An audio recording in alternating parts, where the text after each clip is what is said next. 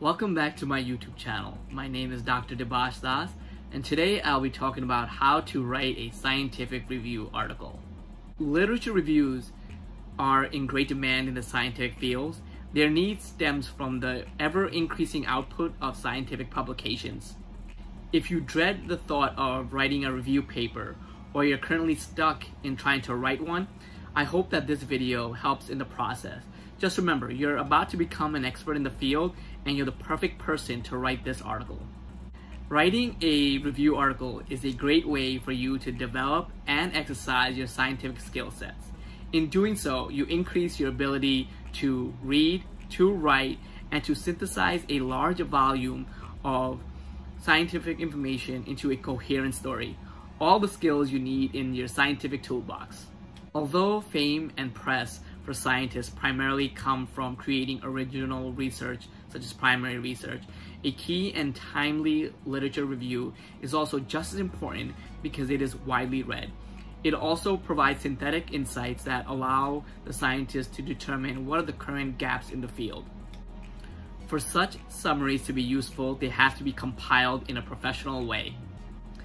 I think for a PhD student who is either just beginning their program or even ending their program, it is a great way for you to publish articles under your name, but more importantly, it allows you when you first begin out to find out what is known in the field, what are the current gaps in the field, and this will allow you to narrow your focus and also determine what you should focus on for your dissertation. In today's video, I share 10 simple rules that helped me when I wrote my own review papers as both a PhD student and as a postdoctoral fellow. The insights and ideas that I'll be sharing with you today has not just come from me, it has come from discussions with co-authors and colleagues, as well as feedbacks from reviewers and editors. But before I begin today, I just want to let you know that by no means was I an expert in the topic when I first began. This is just to say that you don't have to be an expert either, you just have to begin.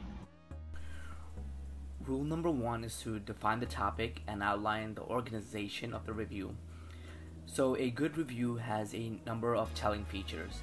It is worth the reader's time, it is timely, systematic, well written, focused, and critical. It also needs to have a good structure. With reviews, the usual subdivision of research papers, such as the introduction, methods, results, and discussion, are not always used or they are rarely used. But a general introduction of the context and towards the end, a summary of the main points covered and the take home message makes sense and it should be included. So once you start um, reading, there will be a temptation to include every piece of information that was ever published. Obviously, this isn't possible. So define your scope from the onset. Once you pick a topic, try to be specific about exactly what aspect of the field you plan to review. If it's a well researched field, you may need to get specific to make sure your article does not turn into a textbook. So it's known that most fields have a mountain of papers, and scientists cannot be expected to examine in detail every single new paper that is in their interest. So it is both advantageous and key to rely on the most recent reviews of the field. So I would try to stick to usually within the last one to one to three years. And here are some other tips to um, define and organize your topic. The topic must be interesting to you so that you should have come across a series of recent papers related to your uh, field of interest that call for a critical summary. Two, an important aspect of the field so that you will have many readers that will be interested in the review and there will be enough material for you to write on it. And three, a well defined issues. Otherwise, you could potentially include thousands of publications which would make the review unhelpful.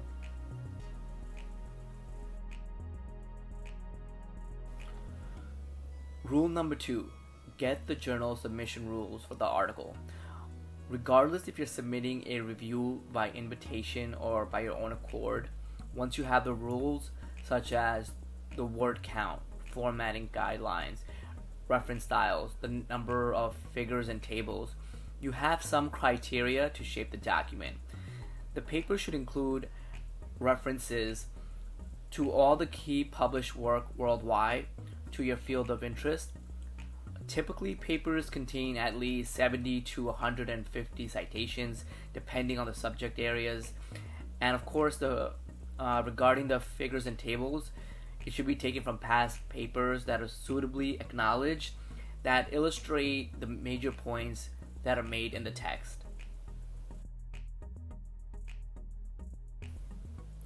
Rule number three get and use a reference management program such as EndNote, Papers, Mendeley. So you're going to manage a lot of references. I cite as I write, which means that I use the softwares to add the citations in real time as I write. I've made a video on several citation managers, some of which are completely free and some which are paid subscription services. I'll add the link to it for you to check out. So things are going to get a bit crazy, meaning you are probably going to cite hundreds of references, and it is better to keep your references organized from the beginning. I would also recommend using the citation style of the last name and the year in the document while you write because it helps you later on to remember where you read particular studies or experiments. Later on, you can easily convert the citation style to whatever the journal requires. So, using the last name and the year format also has the benefit of exposing you to relevant researchers in the field. Also, you can sound credible and cool when you casually mention, such as Das et al. showed that the AR expression was increased when you discuss the review paper with peers in the field. Rule number four start reading. Search and research the lit. I started by reading other reviews because, as I said, I wasn't an expert in the field when I began. Don't worry, you don't have to read every paper ever published to write a good review. To find reviews, I just searched online and I found ones that I thought quote unquote looked good by no definitive criteria. I read these articles to get a sense of the themes in the field and to learn what people cared about. I also used reviews to get a list of papers that I had to read. Once I had an idea of the themes in the field, I searched for the most recent research papers on these particular themes for the most important papers in the field and also for articles from the active or well known researchers in the field. To choose the type of review you wish to write, you should take notes while you read, and so you'll have a rough idea of the amount of material available for the review. This is probably a good time to decide whether you want to write a small or a full review. Um, some journals are now actually favoring the publication of a short review focusing on the last few years with a word limit on the word count as well as the citations. A mini review is not necessarily a minor review.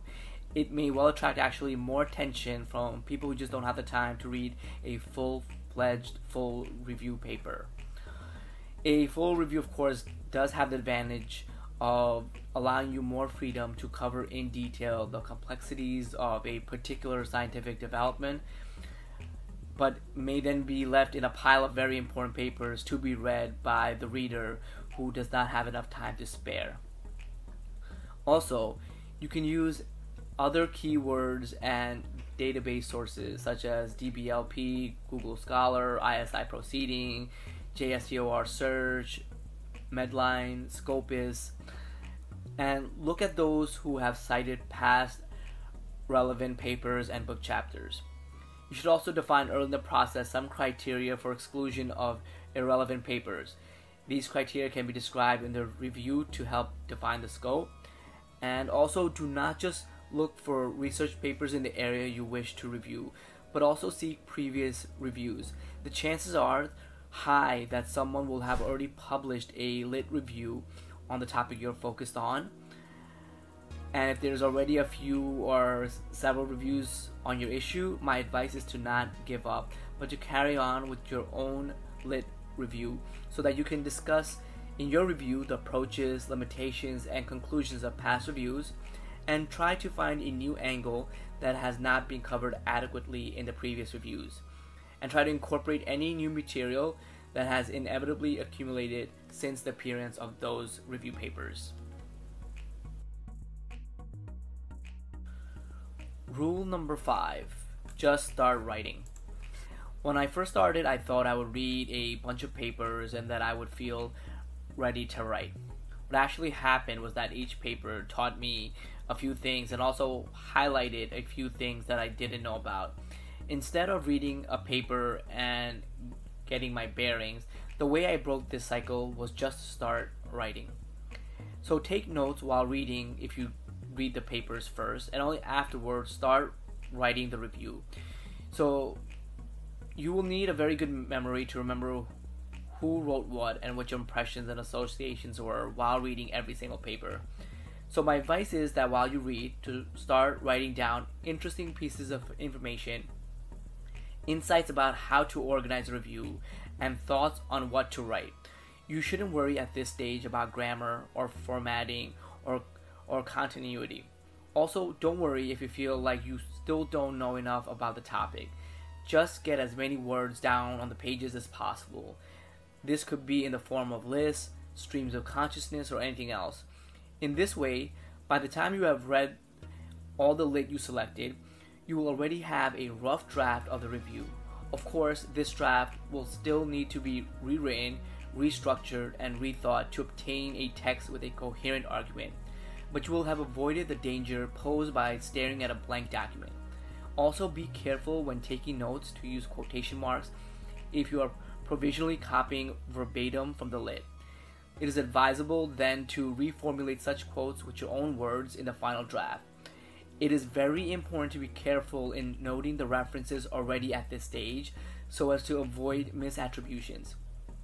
As I previously mentioned, I also added citations in real time as I wrote, so each statement was referenced even in the most rough draft, and I didn't have to worry about having to hunt down sources after.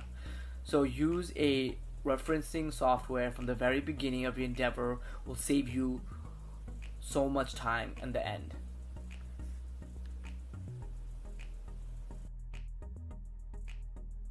Rule number six keep the review focused. Including material just for the sake of it can easily lead to reviews that are trying to do too many things at once. The need to keep a review focused can be problematic for interdisciplinary reviews where the aim is to bridge the gap between the fields. But for most reviews, a good way to organize the flow of the main body so that the reader will be drawn into it and can guide through it is to draw a conceptual scheme of the review. Such diagrams can help recognize a logical way to order and to link the various sections of the review. This is the case not just at the stage you write, but also for the readers if the diagram is included in the review as a figure. Don't forget to include citations so that people can go back and read the original reference for the data. So, a good review does not just summarize the literature, but discusses it critically, identifies methodological problems, and points out research gaps. After having read a review of the lit, a reader should have a rough idea of A. the major achievements in the field reviewed, B. The main areas of debate, and C. The outstanding research questions. It is challenging to achieve a successful review on all of these fronts, so you may want to include some co authors if that is the case.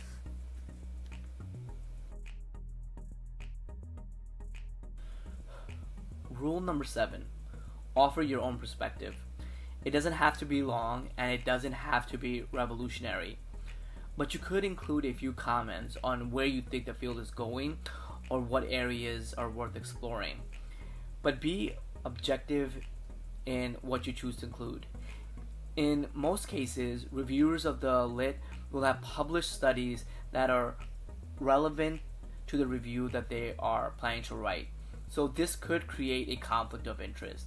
How can reviewers report objectively on their own work? Some scientists actually may be overly enthusiastic about what they have published, which would risk um, in them giving too much importance to their own findings in the review. However, the opposite can also be true.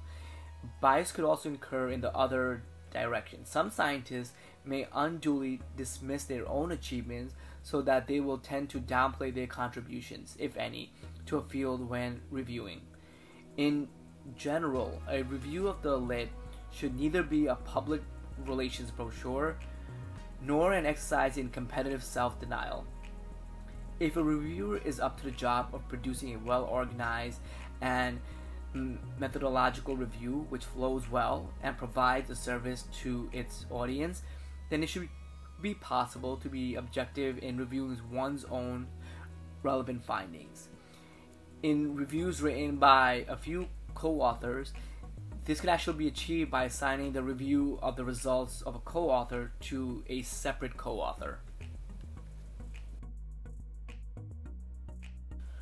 Rule number eight edit and rewrite, then repeat. If you're like me, your rough draft is really, really rough, and so editing is going to be a long process. I was very lucky in my own PhD that I had an advisor who was helpful in the entire process. So I always had someone to send my drafts to who sent it back very quickly. So it was a very good working process.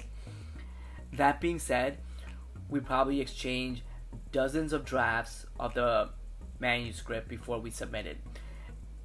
This part is the perfect time to transform the document into something cohesive, change the sentences, make sure it flows, and start telling a story. Like any editing process, you will need time away from the article to be able to keep editing it, editing it effectively. You will also begin to hate the article. This is normal and it just means you're on the right track. Rule number nine get feedback. Feedback is vital to writing a good review and it should be sought from a variety of colleagues so as to obtain a diversity of views on the draft. So after you are done editing, send it to some actual experts in the field for their feedback on the scope and the content. This may, of course, lead in some cases to conflicting views on the merits of the paper, on how to improve it, but such a situation is much more better than the absence of feedback. A diversity of feedback perspectives on a lit review can help identify where the consensus view stands in the landscape of the current scientific understandings of an issue. Rule number 10 Submit the article. It is advisable to reread the draft one more time before submission because any last minute correction of typos, leaps, and confusing sentences may enable the reviewers to focus on providing advice on the content rather than the form. After that is done, submit the article. So, one of three situations could possibly happen after that. It will either be accepted, which is great for you, it will be rejected, or sent back to you with the reviewer comments. Try to incorporate the feedback from the reviewers will greatly improve a review draft. The reviewers may spot inaccuracies, inconsistencies, and ambiguities that have not been noticed by the writers due to rereading the typescript too many times. So it is very crucial that you try to address all of their comments before resubmitting.